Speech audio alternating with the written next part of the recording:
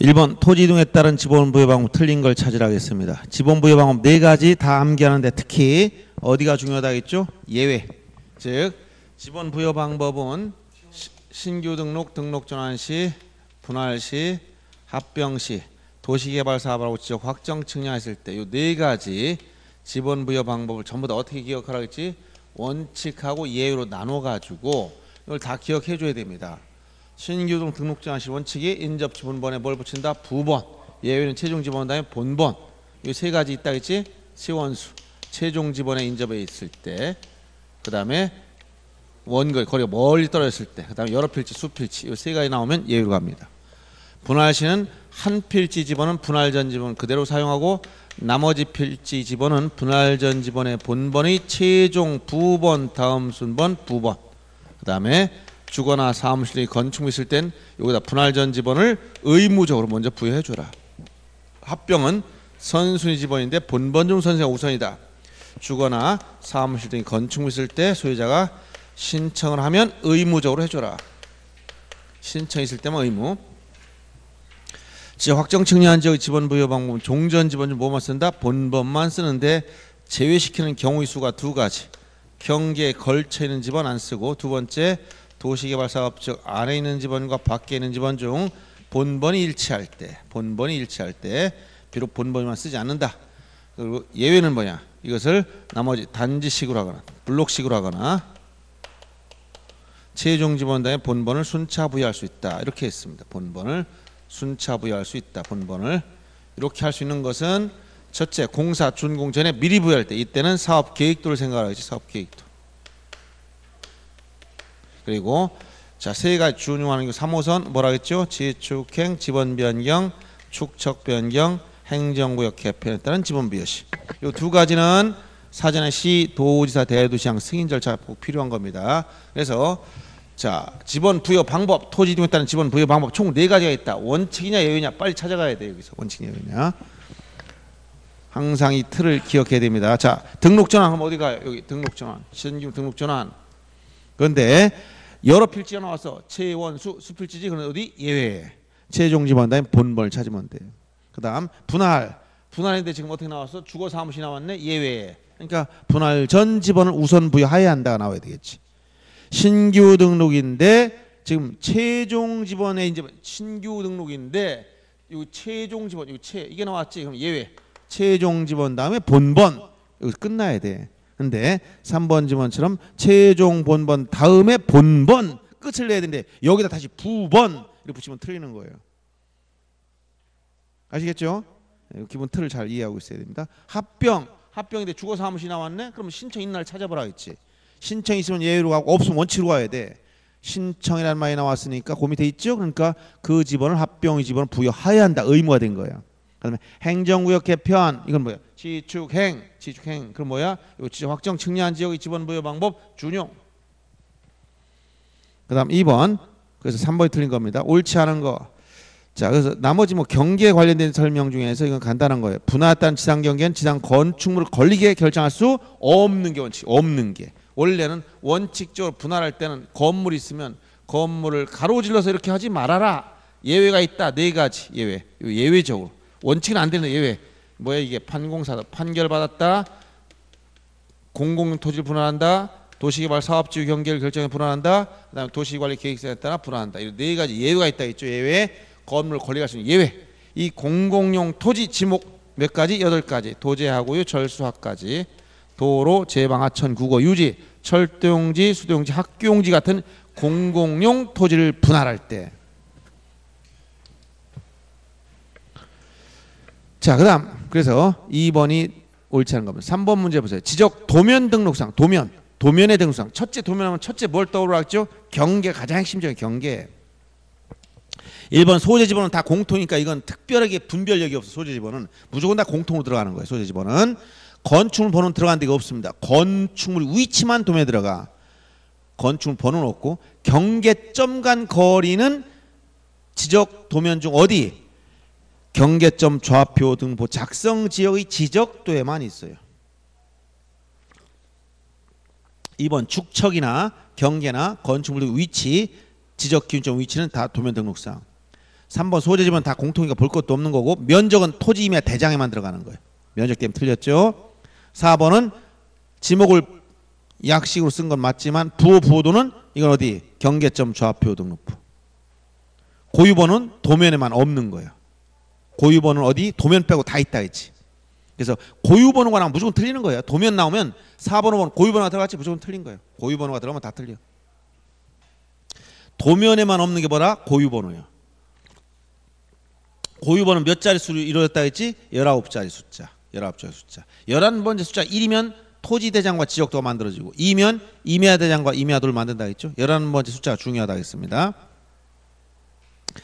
자, 그래서 13번에 2번만이 도면 등록상으로 됐고 4번 지목 표기할 때 도면에는 어떻게 쓴다 했지? 아까 원칙은 첫 글자가 원칙인데 두 번째 글자 쓰는 게 네가 있다 했지? 천원 차장. 자, 그러면 도면에 쓸 때 보세요. 주차장은 뭐야? 여기 천원 차장만 기억하면 돼. 일단 요거 차 문자 두 번째 글자 쓰는 거. 두 번째 두, 두 번째 차 문자. 자, 천은 뭐라 그랬어 이거? 하천. 원은 뭐야 이건? 유원지. 그다음에 오- 차. 이건 주차장.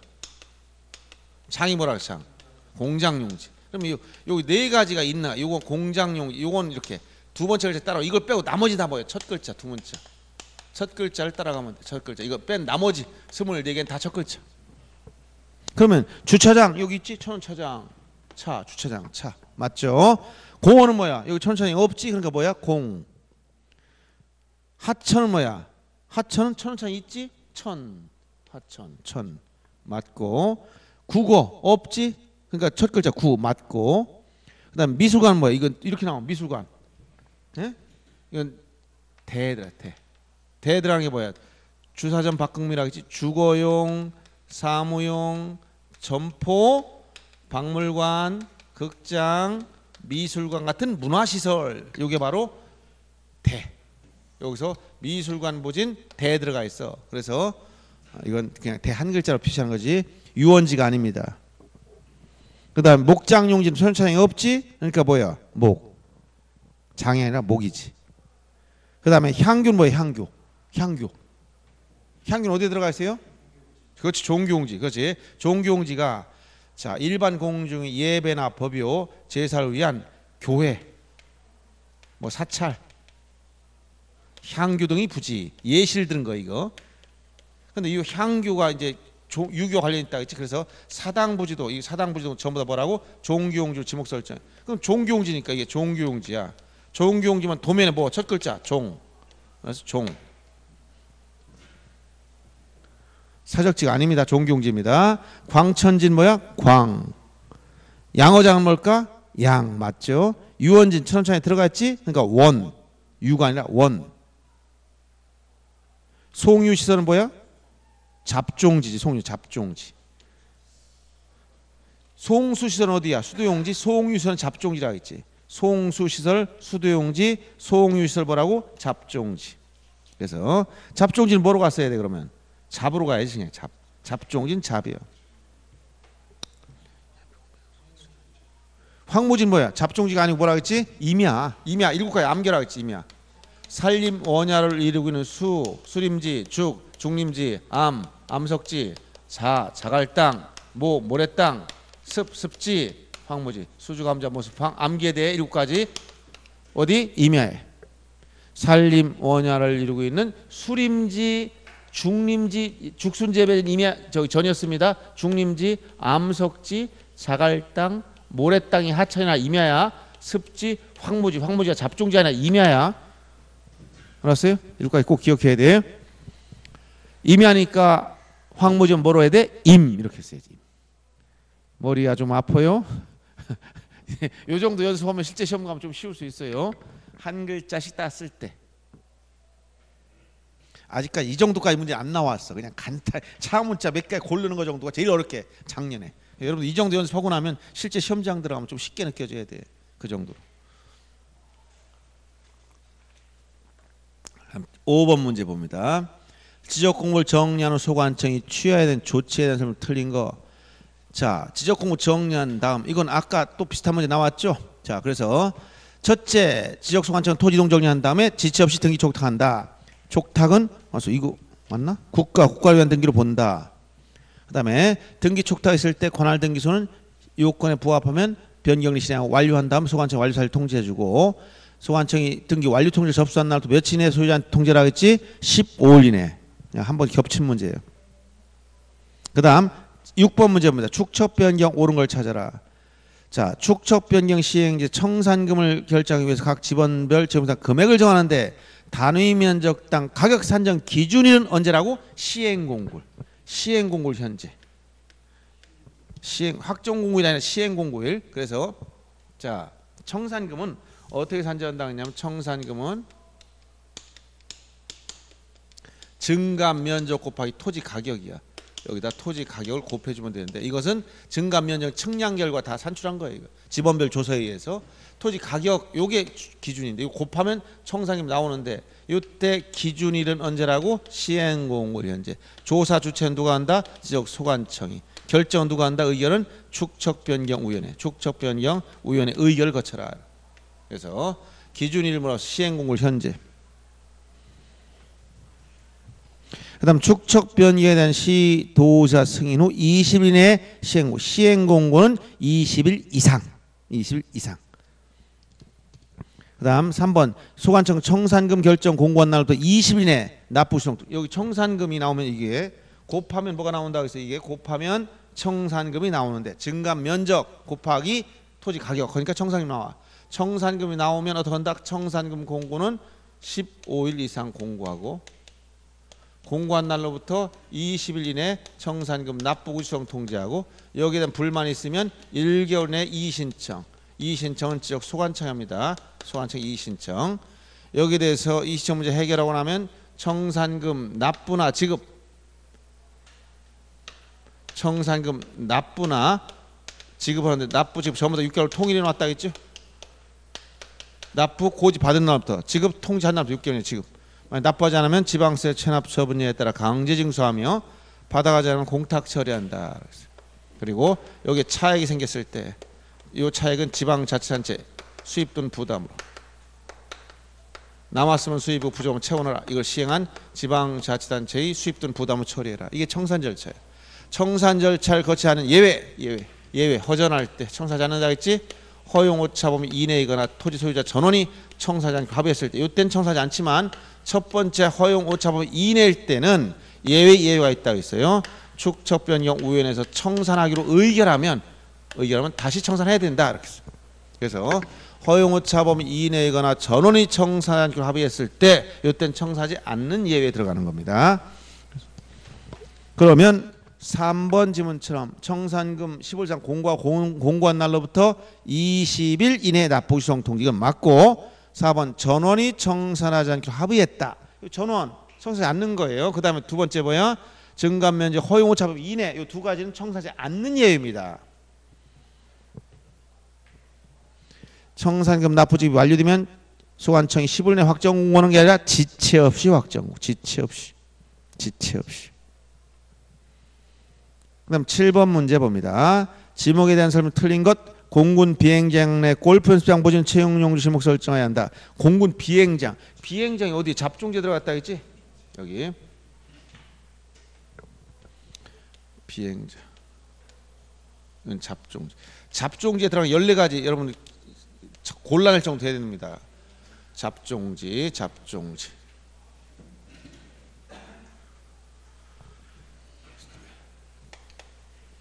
잡종지에 들어가 있는 게 뭐가 있어요? 잡종지 보면 잡종지에 얘기 말고 자 채토장, 채석장. 이제 채토장이 뭐 흙을 파내는 곳, 채석장 돌을 캐내는 곳, 그 다음에 시류에 물건을 쌓아둔 곳, 그 다음에 갈대밭, 야외 시장, 그 다음 비행장, 마을 공동 우물.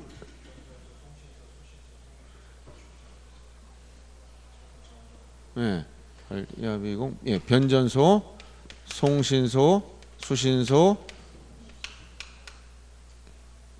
유, 송유 시설 이게 뭐예요? 송유 시설, 그 다음에 도축장, 자동차 운전면허 시험장 같은 거, 자동차 운전면허 시험장, 그 다음에 또 어떤 거? 쓰레기 우물 처리장 이렇게 있다 있지. 열리가지가 여기 들어가 있다 있죠. 그래서 여기 비행장, 비행장, 잡종지에 비행장 안에 큰 비행장이 있다. 그럼 여기 안에 골프 연습장에서 이건 주지목 추중에 따라 양입돼 버려. 그러니까 뭐가 된다? 비행장 잡종지가 돼 버린다는 거. 주된 지목을 따라가는 거니까. 그래서 1번은 잡종지론. 그 다음 자, 8번 문제 보세요. 지적도 아래와 같을 때 맞지 않은 거. 거기 보면 지적도에서 특히 그림을 잘 볼 때 지적도는 일반 지역의 지적도가 있고 경계점 좌표 등보 작성 지역의 지적도 아까 처음 설명했던 게 하나 있죠. 이렇게 도면이 있으면 바깥 태수선을 이걸 도각선이라고 도각선. 여기에 지적도의 좌측 상단에 색인도가 있어요. 색인도. 도면의 접속 관계를 보는 거 이걸 색인도. 여기 제명 어느 지역의 지적도라 썼다. 이걸 제명이라고 제명. 요 축척 뭐 500분의 1이라 썼다. 이거 축척이라고 하고. 그럼 요 요게 제명 다음에 여기다 좌표라고 썼다는 건 아까 뭐라 그랬지 이건 경계점 좌표 등보 작성 지역의 지적도다. 그랬고 요 도각선 좌측 상단 요 우측 하단에 여기 좌측 하단하고 우측 상단 여기에 숫자가 있어. 이걸 뭐라고? 도각선 수치. 요거는 요 두 점이 좌표 값을 말해. 요 네모친 도각선의 왼쪽 하단 모서리, 오른쪽 상단 모서리에 숫자가 있어. 도각선 수치. 이것은 크게 보면 여기 이렇게 축이 있다고 가정하면은 요 두 점 간에 요 점이 좌표 값, 요 점이 좌표 값에 요 가로 길이 실제 길이가 얼마인지 알고 싶으면 원점에서 요 점까지 이걸 x2, 이걸 xy 나오면 요 길이는 뭐야? x2에서 x1을 빼면 되지. 그래서 가로 길이는 x2 마이너스 x1. 이 x는 어디다 쓰냐? 이 세로축에 쓰는 거예요. 이걸 그대로 오면 여기 x2야. 여기 x1이야. 이렇게 알았어요? 요 점에서 요가 빼니까 가로 길이가 나오는 거야. 그럼 거꾸로 요게 뭐냐? 요게 y2야 여기. 요게 y2. 요게 뭐야? y1. 그러면 요 세로 길이는 어떻게 구한다? 원점 먼 거리 요게 y2. 여기서 어떤 거리? 가까운 y1을 빼면 요 세로 길이가 나오는 거예요. 그래서 전체 도각선 길이 구할 때 이걸 쓰는 거. y2 마이너스 y1. 여기서 a 곱하기 b 가로 곱하기 세로니까 뭐가 나온다? 전체 지적도가 포용하는 토지 면적이 산출되는 거예요. 그리고 이런 참고로 이런 걸 보시고 이 안에서 이 안에서 각각 토지 경계를 표시했다면 이렇게 토지 만약 이게 토지 뭐 경계 집원 나오고 지목 나오고 여기다 두 점 간의 거리 이게 도각선 요게 경계점과 거리를 여기다 숫자를 써놨어. 다 거리를 계산 써놨어. 거리 계산 다 써놨다가 경계점과 거리를 표시한다. 어디? 경계점 좌표 등보 작성 지역의 지적도의 특징이라겠지. 자 그러면 8번 문제 봅니다. 맞지 않은 거. 1번. 73의 4맨 아래쪽에 있죠? 전체 모양을 알아보려면 자 도면상 어딜 찾아보느냐? 거기 이제 숫자 찌그마서 잘안 보이지만 여기가 이렇게 된 거예요. 여기 있죠. 7, 8, 9. 그 다음에 위에가 2번 13. 여기 2, 13 이렇게 된 거예요. 여기. 그러면 지금 이게 현재 8번 도면이에요. 8번 도면. 요 밑에 짤 여기 73에 밑에 73에 4라고 있죠. 73에 4 다. 요건 요거 요, 요 토지는 밑에가 잘렸어. 그럼 도면이 어디로 들어왔느냐? 여기 13번 도면 찾아가면 여기 나왔어요. 이렇게 연결된 거 보려면 요 밑에 13번 도면을 찾아가라 이런 얘기예요. 지도 보는 훈련하는 거 지도 한마디로. 색인도라 지금 색인도 색인도. 이거 색인도 이 가운데 현재 이 도면이니까 왼쪽을 보려면 7번 찾아가고 오른쪽 9번 위는 2번 찾아가라 이런 얘기야 위쪽을 보려면. 2번 73의 1에 대한 면적 직전 좌표 면적 계산법. 즉 경계점 좌표 등보 작성 지역이니까 면적 산출은 좌표 면적 계산법에 의해야 되지 전자 면적 측정기 산출하지 않는다 있고 그다음에 그 선 위에 등록된 숫자들은 다 경계점 간 거리이고 22.4이라면 22m 41cm라는 얘기예요. 이 두면 전체의 가로 길이 세로 길이 어떻게 구하느냐? 요거 있죠. 아까 요거 x2만 세로축의 차이. 즉 거기서 11만 4,200에서 11만 4천을 빼니까 가로가 200m, 세로는 29만 4,150에서 29만 빼니까 150m. 그러니까 곱하니까 얼마? 200m 곱하기 150m니까 이건 전체 3만 제곱미터. 이 지적도 전체 면적은 3만 제곱미터다 이렇게 면적 산출한단 말이에요. 이 도면을 근거로 축철 계산하 이건 이제 하나 더 알아야 되는 게 지적도의 지적도의 규격은 가로 40cm, 세로 30cm 규격으로 만들어요. 지적도는 규격화돼서 지적도는 얼마? 가로 40cm, 세로 30cm 규격으로 만드는데 여기 가로 길이가 얼마라 해서 아까 가로 길이가 200 실제 200m라 했지? 그러면 축척이란 게 뭐예요? 축척이란 실제 거리를 도면상 거 줄인 비율이야. 실제 도상 거리. 그럼 이 지역도 가로 길이가 얼마야? 가로, 가로 길이가 40cm. 실제 거리 얼마? 2, 2 얼마였지? 아까 200m.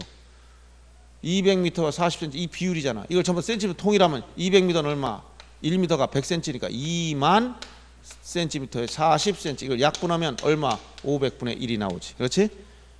이렇게 되는 거예요. 세로 길이 똑같아. 세로 봐. 세로가 얼마야? 세로기는 30cm를 만든다 그랬는데 아까 150이니까 150m 분의 35니까 이거 똑같이 500분의 1로 줄인 거예요. 같아요. 비율은 축척인 거리 비율, 거리를 줄인 비율이야. 실제 거리를 도면상 얼마를 줄였느냐? 실제 200m가 도면상 40cm 줄어들었어.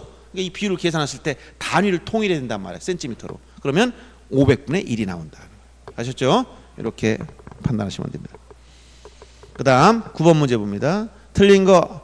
자, 역시 에, 1번 1필지 일부가 용도와 다르면 분할 신청 의무가 있습니다. 2번 도시관리 계획서에 따라 토지 분할할 경우 지목 변경 없이 등록 전환. 아까 등록 전환이 예외. 즉 지목 변경을 수반하지 않은 예외가 세 가지 대부분 사실상 도시관리 계획서 나오면 뒤에 지목 변경 없이 등록 전환을 찾아야 된다 했습니다. 신규 등록 등록 말소 모두 토지동이며 일반적 이동 사유죠. 의무가 주어진 것들입니다. 합병하자는 각 필지 지문 같으나 일부 토지 용도가 다르게 해서 분할 대상일 때는 원칙적으로 합병할 수 없는 게 원칙입니다. 합병할 수 없는 게 원칙이야. 다만 분할 신청과 동시 합병 신청 같이 하는 건 허용되지만 원칙은 합병할 수 없다. 4번이 틀렸고 도, 도시개발 사업의 경우 사업 시행자만 신청권이 있다고 말씀드렸던 거예요. 그 다음에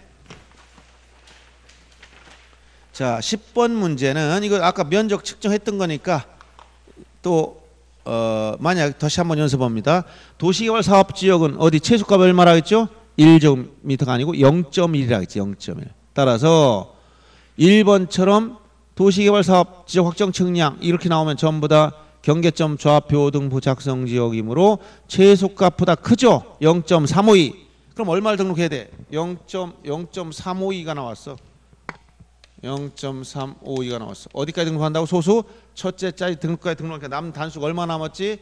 0.052가 나왔지? 그럼 이걸 기준값 얼마를 기준으로 0.05와 비교해야 되는 것도 0.05와 비교 크냐 같으냐 작으냐 초과하지 올려서 0.4로 등록한다. 초과만 올리고 미만이면 버리고 같을 때 어떻게 한다? 오사입한다 했지. 그 다음 3,000불 축척을 사용한 지역에서 면적 측정이 0.63 나왔어. 축척 분모가 1,000단위면 최소가 얼마야? 1이지. 1보다 작으면 그냥 1로 등록하는 거. 1제곱미터로. 3번 1200분의 축척을 사용한 지역에서 면적 측정 결과 323.5가 나왔다면 자, 1000단위니까 300 323.5예요. 그러면 어디까지 1위 자리 여기까지 등록하니까 단수가 0.5로 끝났지? 0.5와 비교해 크냐 같으냐 작으냐 초과하면 올리고 미만을 버리고 같을 때 오사이 같단 말이야 같다. 그러면 구하고 끝자리가 홀수면 올려서 4 짝수면 버리고 홀수면 올린다겠지.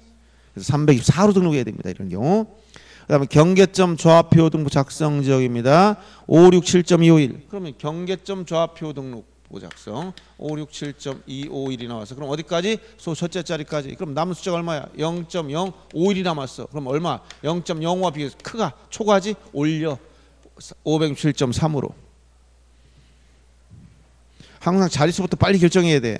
5번 경위 측량 방법으로 측량한 지역에서 면적 측량 결과 357.25 경위 측량 방법 뭐야? 도시개발 사업 경계점 조합표 등 같이 연결되는 거예요. 아까 축척 분무 100돈에 같은 거 도시개발 사업을 시작했다. 지역 확정 측량 여기다 하나 더 말을 붙인다면 측량 도구 경위의 측량 방법 써서 지역 확정 측량을 하고 경계점 좌표 등을 작성 비치했다. 이 말이 나오면 축척 분모 100단일 때 똑같이 하는 거라겠죠. 소수 첫째 자리 즉 제곱미터 이 한 자리인 소수 첫째 자리까지 등록해야 되니까 357.252가 나255 357.25 255 이렇게 나왔죠. 이렇게 나왔다면 얼마까지 등록했냐? 어디까지 등록하라? 여기까지 등록하였지? 남은 숫자 얼마야 여기 지금 단수가 0.055가 남았지? 0.05와 비교했을 때 이 기준값 크냐 같으냐 작으냐 어디? 초과 올리니까 얼마? 357.3 초과예요.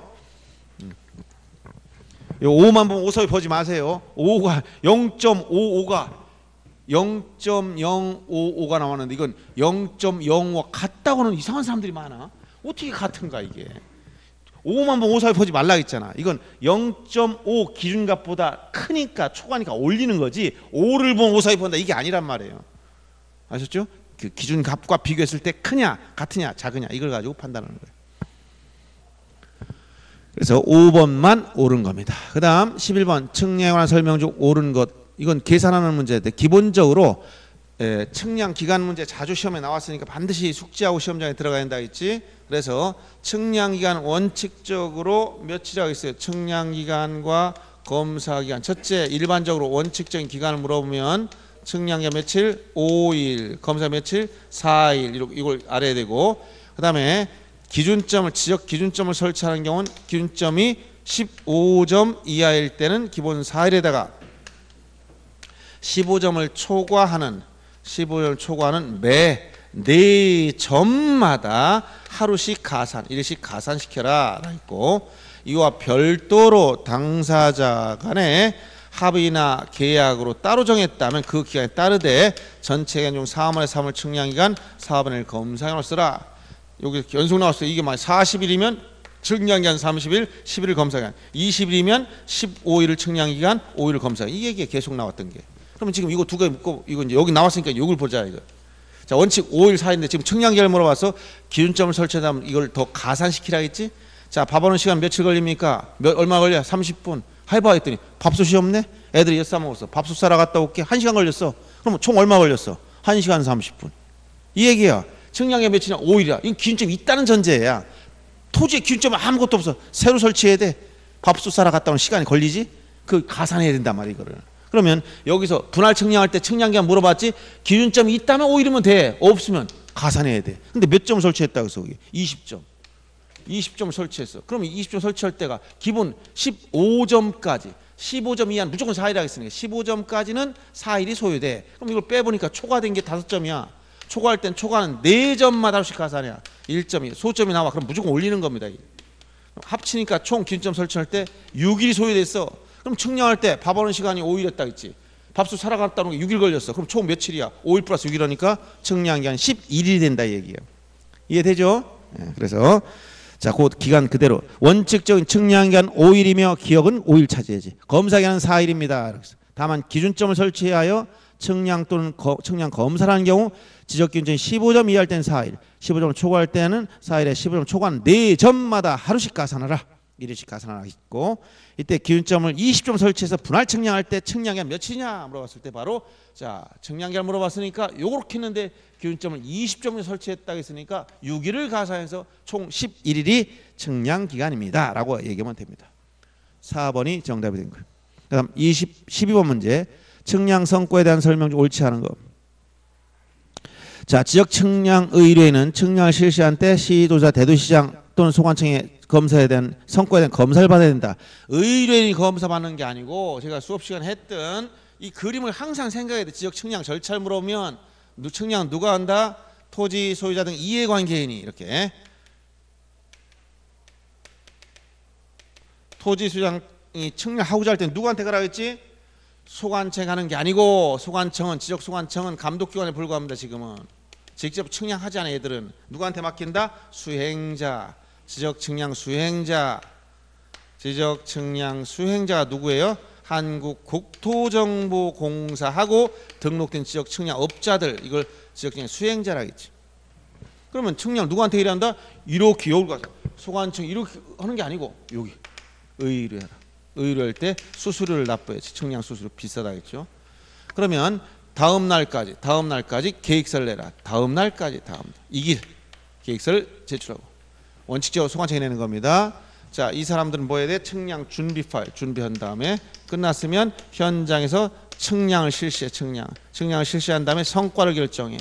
이 성과를 가져와서 뭐야? 검사해 주세요. 검사. 의뢰하면 정확한지를 따져봅니다. 정확한지를 수행자가 다른 방법 따져봐서 정확하다 인정되면 뭘 발표한다? 성과도를 발급해 누구한테? 수행자한테. 그럼 수행자는 어떻게 지체 없이 의뢰인에 발급해 줘야 돼. 이런 구조가 기 때문에 지역 측량은 토지 수장이 직접 소관청에 갈 수도 없고 여기서 직접 주지도 않는다. 그러면 보세요. 소유자 검사 의뢰하는 게 아니라 누가 수행자 검사 의뢰했지. 그림을 잘 이해하시라겠지. 무슨 얘기 하겠어요? 그럼 기억을 보세요.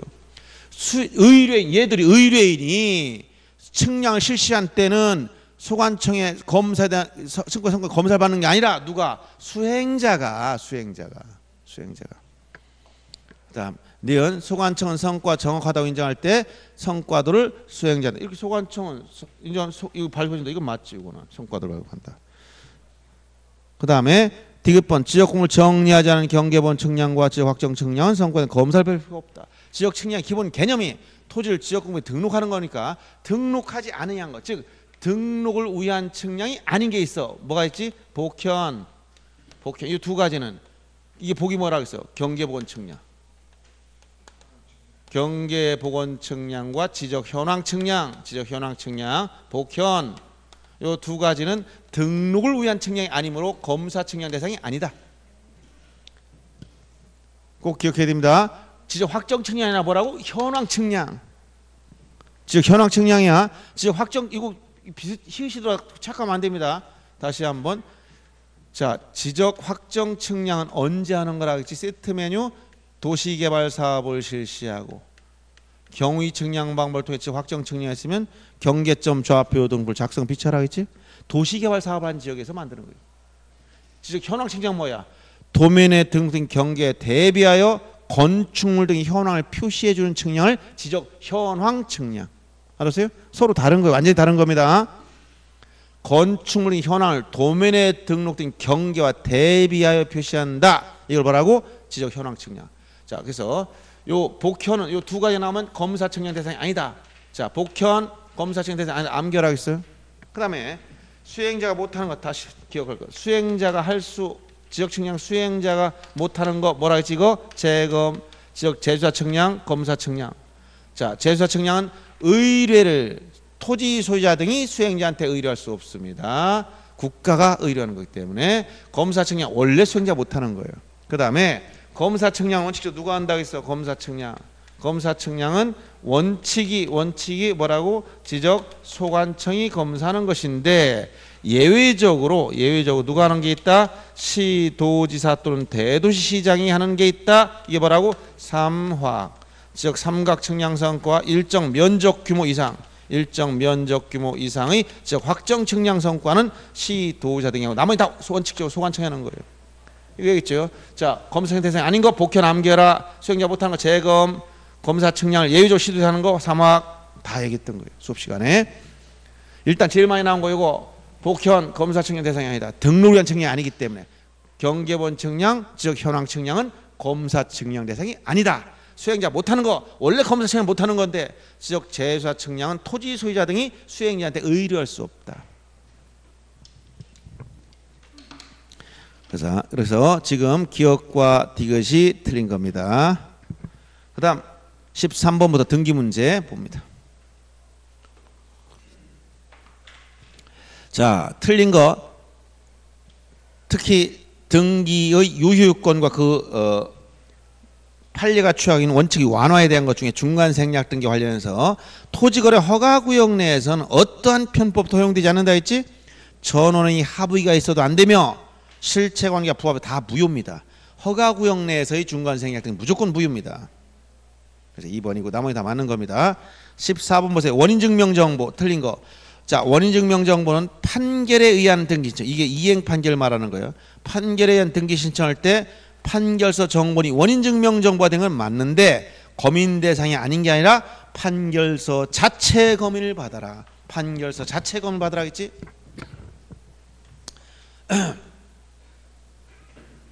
자, 검인은 언제 한다 그랬어요? 계약 등기 원인이 계약을 원인으로 무슨 등기? 소유권 이전 등기 할 때 등기 목적은 소유권 이전 등기입니다. 검인을 받아라. 즉 이건 탈세나 투기를 막기 위해서 국가가 개인 간의 거래를 파악하겠다는 거예요. 그래서 시장군수구청장으로부터 시장으로부터 검인을 받아라. 행정관청이 통지를 받아라 이런 얘기예요. 따라서 요 검인 대상이 되는 건 계약이어야 되고 소유권 이전 등기에 돼. 요때 검을 받는 거예요. 계약이 아니거나 소유권 이전 등기가 아니라면 어, 이런 경우는 일체 검인 대상이 아닌 겁니다. 예를 들어서 계약이 아닌데 이전 등기에 상속으로 난 이전 등기, 수용으로 난 소유권 이전 등기, 경매로 난 이전 등기 검인 대상이 아니야. 계약인데 이전 등기 아니야. 전세권 설정 계약, 소유권 이전 가등기한다든가 이건 이전 등기 아니잖아. 이때 거민 대상이 아니라는 얘기야. 근데 거민을 받는 요 요건에 해당됨에도 불구하고 받지 않는 특수한 경우가 있다 했지. 계약을 오늘 이전 등기 하는데도 거민 받지 않아. 첫째, 필성이 없어. 왜? 국가나 지방 자치단체가 당사자. 얘들이 당사자야. 자기가 계약량 다 알고 있어. 지가 직접 계약했기 때문에. 계약서 보자 할 필요가 없잖아. 자기가 당사자인데. 두 번째, 거민 받은 거로 본다 의제. 간주하는 게 있어. 간주. 이게 뭐야? 토지거래 허가를 받았다든가 거래 신고 필증 신고 주택거래 공, 부동산 거래 신고 필증을 첨부했다. 이런 이런 경우는 이미 거민을 받은 거로 본다. 간주해 버려요. 각종 국토개혁 이용하는 법률, 공인중개사법, 거- 저, 주택법에서 다 간주해 버리고 있다는 거예요. 그보다 까다로운 절차를 거쳤다는 거예요. 거민이 초등학교 졸업에 불과하지 이건 대학 졸업한 거야. 대학 졸업한 사람 초등학교 다 나왔다 했지. 그러니까 이건 이거보다 까다로운 절차를 거쳤으면 거민은 받은 거로 본다라고 규정한 거예요. 그런데 요것과 달리 자 계약으로 이전 등기하는데 당사 협력하지 않네? 그럼 뭐 해야 돼? 분쟁이 생겼어. 이행 판결 받았어. 판결을 어디서 받았어? 법원에 가서. 이건 왜 판결 받았을까? 단독 신청하라고 상대방이 협조하지 않을까. 그러면 단독 신청을 판결 받은 것은 개인 간의 분쟁이야. 시장이 얘들 소송을 알 수가 없어. 계약을 오늘 이전 등기하는 이 속성이 바뀌지 않았어. 그럼 어떻게 판결서 자체 여기다 검인을 받아내라는 거야. 판결 받았으면 검인 안 받는 게 아니라 판결서 자체에 검인을 받는다. 반드시 기억할 것. 그리고 계약의 대상이 허가 받았냐, 무허가 건물이냐 이건 이거는 검인에 영향 안 미쳐. 계약을 원하는 이전 등기라면 다 검인 대상이므로 계약의 대상 목적 부동산이 무허가 건물이다. 그래도 허가 받아야 돼. 저 여기 저 검인 대상이 돼요. 검인 대상. 그래서 요 기본적인 요건 알아두라 하겠습니다. 많이 나오는 게 요 질문이에요. 판결 받았어도 판결서 자체 검인을 받아라. 1번이 틀린 겁니다. 그다음 15번 문제 보세요. 등기 완료 등기 필정을 작성하지 않아도 되는 거. 아까 표시했었죠? 소유권 보존 등기 즉 권리에 대한 보존 설정 그다음에 가, 이전 가등기 다 권리와 관련됐지. 근데 부동산 표시 변경 표지예부에서 하는 것은 새로운 권리가 생긴 게 아니에요. 그래서 등기 필정을 만들지 않습니다. 근데 예외적으로 단독수를 공유로 경정하는 거 이거 권리자를 추가시키는 변경 등기 하나, 경정 등기 하나씩 예외가 있다고 아까 설명했어요. 16번 공동 소유 등기관 설명 중 틀린 걸 찾아라. 자, 3번 질문 보세요. 부동산을 조합체로서 소유하는 경우 이걸 민법상 조합의 재산 소유권은 합유입니다. 그래서 합유 등기를 하며 합유라는 뜻을 적어야 되는데 합유자 지분, 지분은 등기상에 합유 지분, 지분 중에 합유죠. 공유 지분 등기하지만 합유 지분은 등기하지 않아요. 이거 등기되지 않는다. 꼭 기억하고. 그래서 여기서 민법상 조합에서 조합원이 사망, 교체, 추가 또는 이런 변동, 조합원의 변동이 생기면 조합원 민법상 조합 이건 민법상 조합이라 민법상 민법상 조합의 경우 조합원 조합원의 사망되거나 교체 추가 탈퇴 이러한 변동이 생기면 전부 다 무슨 등기하냐면 지분을 기록하지 않기 때문에 합유 등기 명인 합유 명의인 표시 변경 전부 다 표시 변경 이렇게 되는 거예요. 이게. 그래서 3번이 틀려서 지분을 기록하지 않습니다. 17번 문제 보세요. 신청 의무.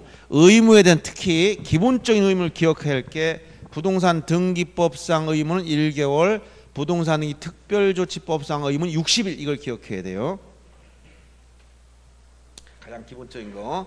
첫째, 부동산 등기법에서 규정한 것은 1개월 이내. 이건 뭐냐? 표제부. 표제부의 의무. 표제부는 대장과 등기부를 일치시켜 놔야 되기 때문에 표제부에 대한 1개월 내에 변경 등기 신청해야 되고 위반에도 과태료는 없더라. 일체의 과태료는 다 없어진 거. 토지건물 묻지 않고. 그런데 요 등기법이 아니라 부동산 등기 특별조치법상의 의무는 이것은 60일, 60일. 중요한 등기 뭐냐? 소유권 이전 등기입니다. 소유권 이전 등기는 이것은 자 쌍무계약인 매매다. 그러면 반대급부 이행이 완료된 날 잔금 지급부터 60일에 신청해야 돼. 자 부담은 증여다.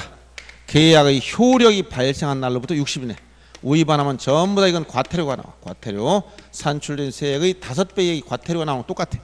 토지금을 묻지 않습니다. 그 다음에 소유권 이전 등기 아니라 소유권 보존 등기에 대해서. 소유권 보존 등기 나오면 이 보존 등기는 자 원칙은 임의 신청. 임의라는 건 의무가 없다는 거야. 의무 자체가 없다. 건물 신축했다. 그냥 죽을 때까지 살아도 아무 상관이 없어. 근데 예외적으로 의무가 나와 예외적으로 무슨 의무? 보존 등기를 해야 될 의무가 나온다. 언제 의무가 나오느냐? 미등기 전매를 막기 위해서 소유권을 이전하는 계약을 체결함. 소유권 이전 계약을 체결해 버리면 뭐부터 해라? 보존 등기부터 해라.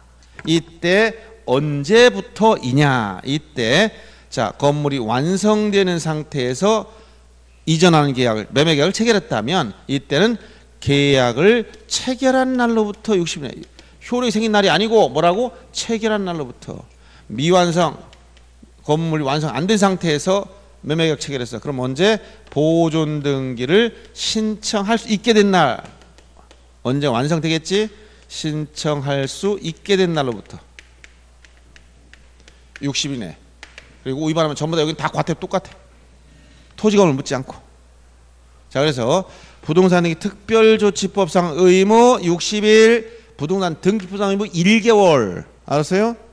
등기법 의무 1개월. 이거는 이원적 공시방 때문에 나온 거예요.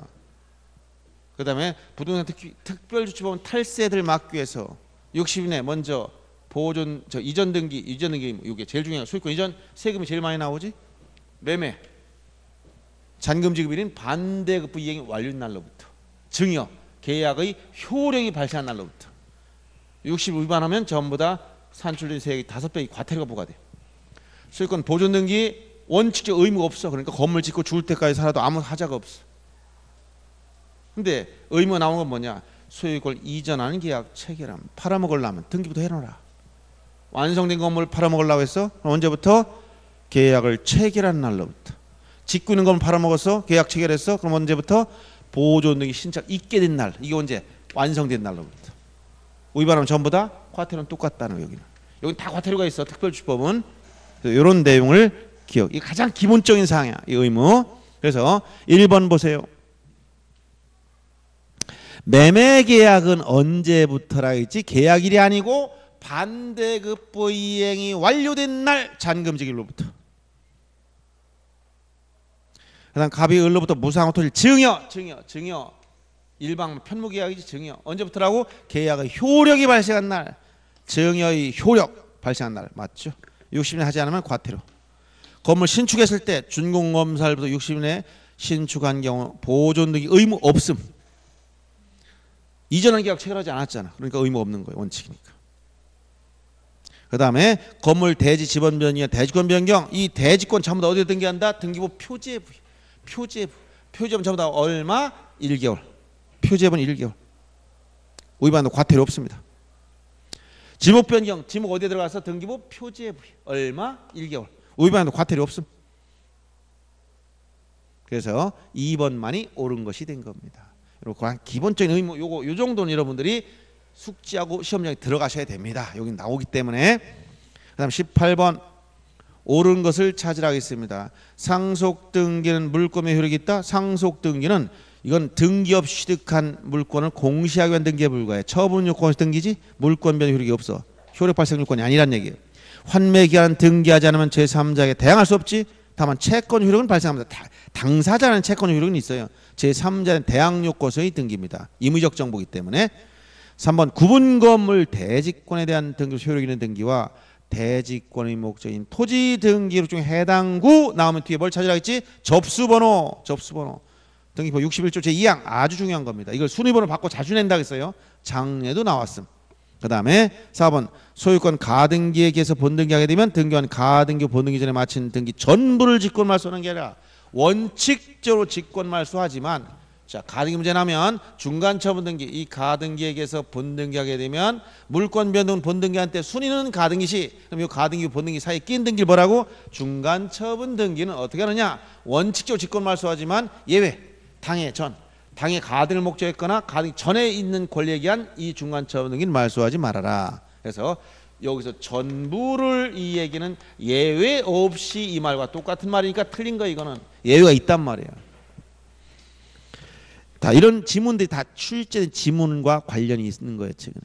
그다음 5번 소유권 보존 등기가 격려되는 그 명의자는 제3자에 대해서뿐만 아니라 전 소유자에 대해서도 적법한 원인의 소유권을 취득한 것 추정된다.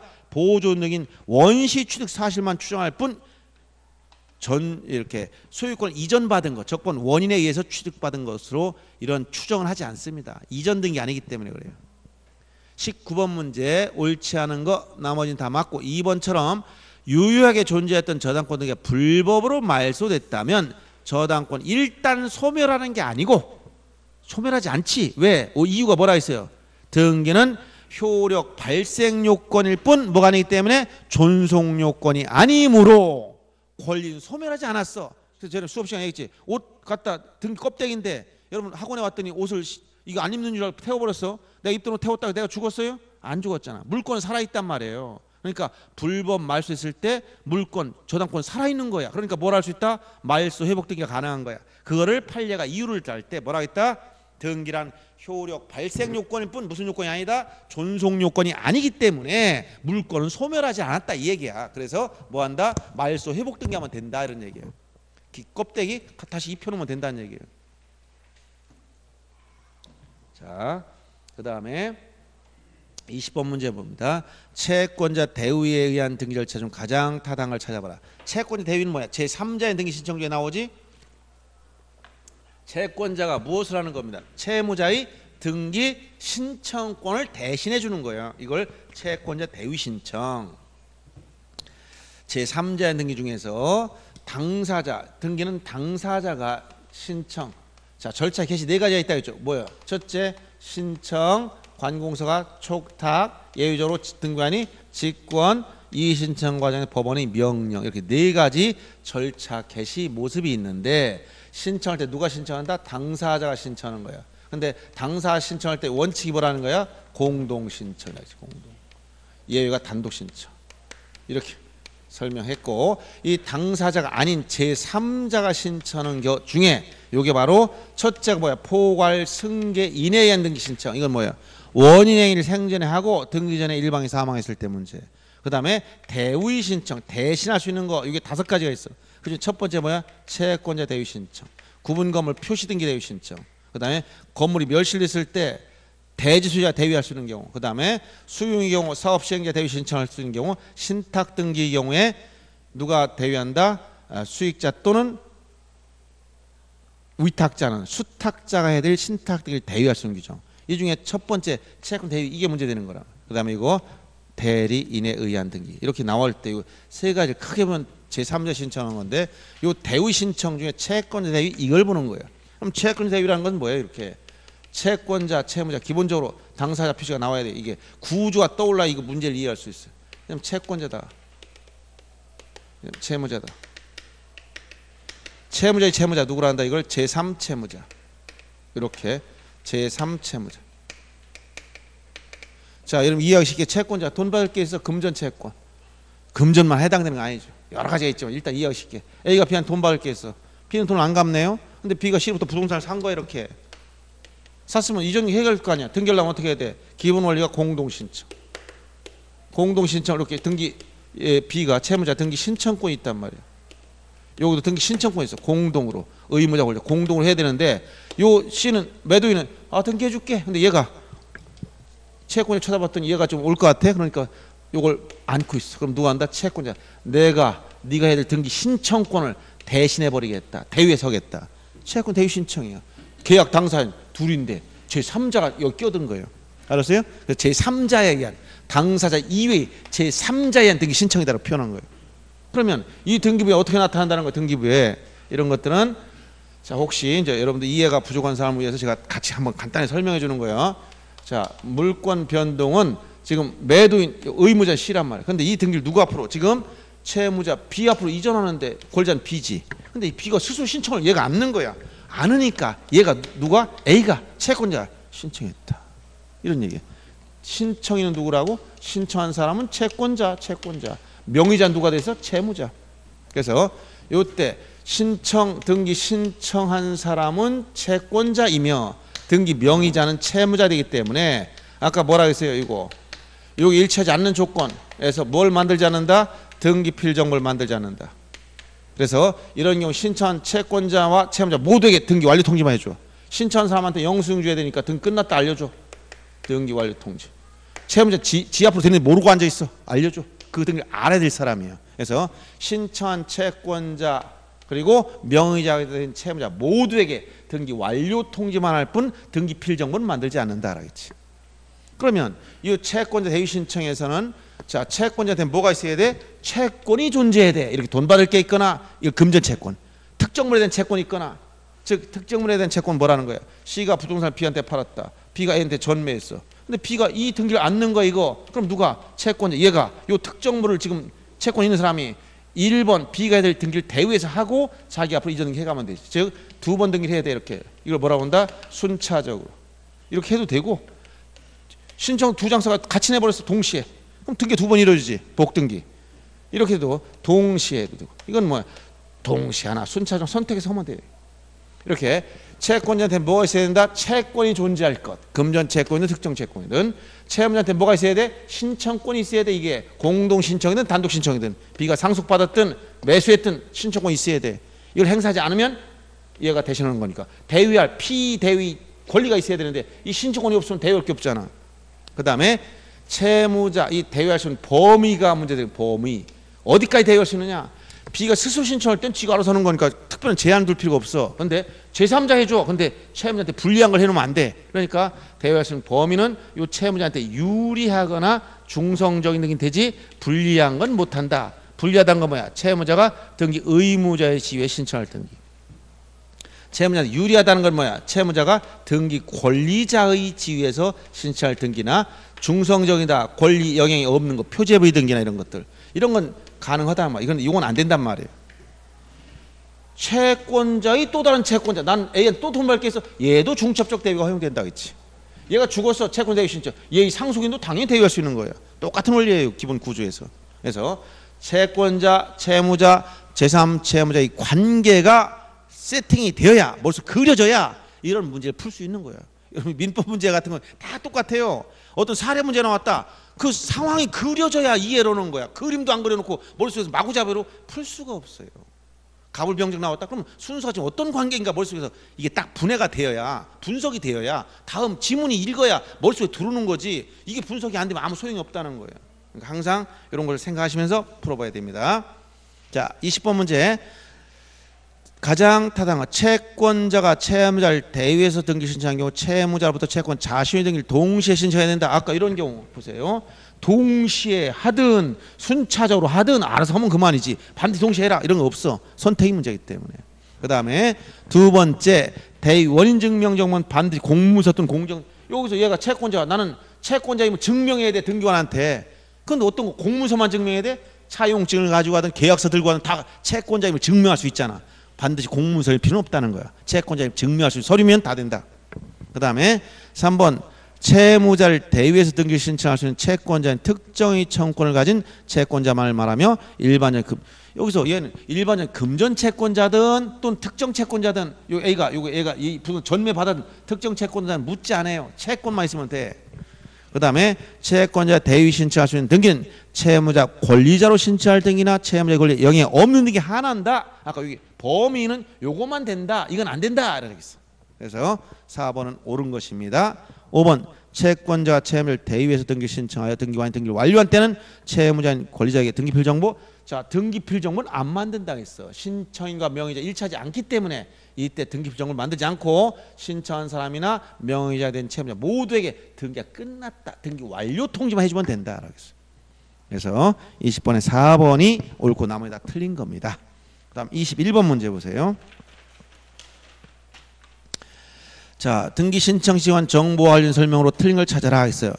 자, 나머지는 다 한번 보시고 5번 질문 지상권 설정 등기할 때 권자 의무자 주소. 야, 주소 증명 정보 나오면 지금은 새로 등기 명의자가 되는 권리자에게 요구하는 거야. 새로 등기 명의자가 되는 권리자. 이게 뭐야? 새로 등기 명의자가 되는 건 언제다? 기입 등기를 말하는 거야. 그래서 주소 증명 정보하고 부동산 등기용 등록번호 요 차이가 뭐냐?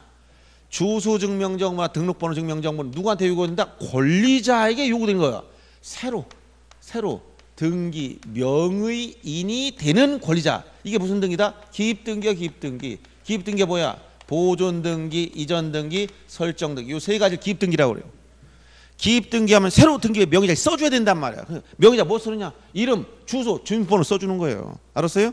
그러면 이때 주소 증명 정보는 권리자 걸 내는데 의무자건 원래 낼 필요는 없는 거예요. 둘 다. 알았어요? 근데 요 주소 증명 정보에 다만 어떤 거 소유권 이전 등기할 때만큼은 소유권 이전 등기할 때는 중요한 소유권이 넘어가니까 의무자 즉 명, 매도인이지 이 사람 주소 변동 사실 확인해야 돼. 그래서 의무자 것도 같이 내줘라. 언제 이전 등기 할 때만. 그러면 소유권 이전 등기가 아니라면 의무자 걸 내는 경우 없다는 거야. 알았어요? 그럼 지금 뭐야? 지상권 설정에 누구 거만 내면 돼? 권리자 거만 내면 돼. 누구 건안 낸다? 의무자 건 안 내. 이런 설정자 건 안 내. 이런. 그래서 5번이 틀린 겁니다. 22번 보세요. 가등기관 설명 잘못된 걸 찾으라겠어요. 자, 2번 보시면 소유권 이전 청권 보존의 가등인 갑괴 주등. 이건 아까 제가 가등기 형식은 가등이 스스로 결정을 못 한다 했지. 모든 걸 누가 결정한다? 본등기가 본등기가. 그러면 가등기에 관련된 것은 이건 독립 변수가 아니라는 얘기. 종속 변수라는 거야. 누가 결정했다? 본등기가. 얘는 스스로 결정권이 없어. 본등기가. 자, 본등기가 얘 결정해 줘. 그럼 뭘 결정하느냐? 본등기가 주등기로 해야 돼. 그럼 가등기도 너도 주등기로 해라. 본등기가 부기등기로 해야 돼. 가등기도 부기등기로 해라. 본등기가 갑구해야 돼. 가등기도 갑구해라. 본등기가 부기, 을구해야 돼. 그럼 가등기도 을구해라 이런 얘기야. 그러면 자 소유권 이전 가 이전 이등기가 주등기로 하니까 이전 가등기 주등기 갑구하니까 갑구의 주등기로. 그럼 만약에 지상권 설정 등기는 뭐냐? 을구해야 합니다. 지상권 설정 주등기로 해야 돼. 을구의 주등기로 가야 되니까 지상권 설정 가등기도 을구의 주등기로 가는 거예요. 그러면 지상권 이전 등기는 부기 등기로 하는 거니까 을구의 부기 등기로 이전 가등기를 하겠지.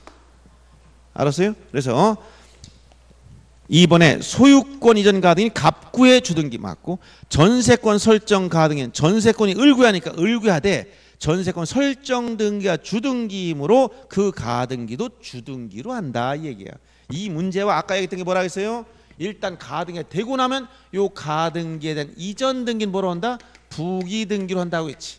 소유권 이전 가등기를 주등기했지만 이 가등기를 이전할 땐 부기 등기로 하는 거예요. 요 문제와 착각하면 안 되겠다라고 얘기해 줬습니다.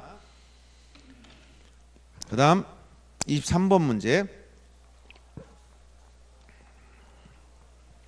자, 우리나라 등기 중 틀린 거. 자, 1번 등기는 등기 직접 출석해서 즉 방문 신청으로 할수 있고 인터넷을 이용해서 즉 전산 정보 처리 조직을 이용해서 이게 이른바 보다 전자 신청 둘 다 선택 문제입니다. 법률에 다른 규정이 있는 경우를 제외하고 신청 또는 촉탁이 없으면 등기하지 못한다. 즉 원칙 신청 또는 촉탁 예외가 직권 또는 명령이라고 했어요. 3번 등기관이 등기관은 신청세 기재에 대해서 구체적 실체적 심사권 없지만 즉 뭐라고 형식적 심사주의를 취하고 있다. 형식적 심사 지적에선 실질적 심사했지만 등기에 오면 뭐라고 형식적 심사주의 실체 관계를 따져보지 않는다 했어요. 절차적 적법성만 심사하는 겁니다. 구분검을 표시에 관한 사항은 실체적 내용에 대해 조사할 수 있는 게 아니라 구분 건물 표시에 관한 사항, 즉 구분 건물 요건에 대한 사실 조사권도 다 페이지에서 없어졌어요. 이거 없어진 겁니다. 그래서 뒷부분이 틀린 겁니다. 성립 요건을 취한 현행 민법하에서도 법률 규정에 의한 소유권을 취득하는 경우는 등기 없이도 물권 변율이 생긴다. 즉 성립 요건주의란 건 법률 행위를 전제로 한 거예요. 따라서 법률 행위가 아닌 법률 규정에 의한 물권 변동의 경우는 민법 187조에서 얘기했듯이 등기 없이 취득하는 겁니다. 매수인이 등기부 기재를 믿고 부동산을 매수하였지만 소유권을 취득하지 못한 경우가 있다. 이걸 뭐라 했지? 공신력이 부정된다. 공신력 부정에 대해 뭐가 없다고? 예외가 없습니다. 꼭 기억할 것. 24번 등기관 처분에 대한 이신청. 자, 여러분 등기관 처분은 등기관은 어떤 처분을 합니까? 등기관이 할 수 있는 일 뭐야? 두 가지밖에 안 해. 밥 먹고. 무슨 일에? 등기를 안 해주거나 해주거나 둘 중에 하나밖에 없어. 또 있습니까? 등기관 하는 중에 등기 안 해주거나 해주거나 또 하는 게 뭐 있어? 등기할 일이 그밖에 없잖아. 그래서 등기관의 결정 처분이 부당하면 등기관이 결정이나 요 처분이 위법하거나 부당하다. 그럼 불복해야 돼. 부당하다. 불복해야 돼. 따져야 돼. 불복할 수 있는 제도가 뭐냐? 오로지 이의신청 제도밖에 없어. 행정공무원이 아니기 때문에 행정심판, 행정소속 이런 게 없어. 사법부 사- 소속 공무원이라요. 독립관청이라 했지 등기관은. 그럼 도대체 등기관 너 뭐하니 물어보니까 어, 두 가지 등기를 안 해주거나 해주거나 이거밖에 안 해. 등기를 안 해주는 걸 뭐라고 한다? 각하 결정 이렇게 했습니다. 등기를 해주는 걸 뭐라고? 실행 처분 이렇게 했어. 그러면 등기관의 결정이나 처분이 부당해. 그럼 어떤 결정, 각하 결정이 잘못됐어? 이걸 뭐라고 한다? 소극적 부당 이렇게. 왜 안 해줍니까? 라고 따지는 거야. 실행 처분이 잘못됐어? 이걸 적극적 부당 이렇게 얘기합니다.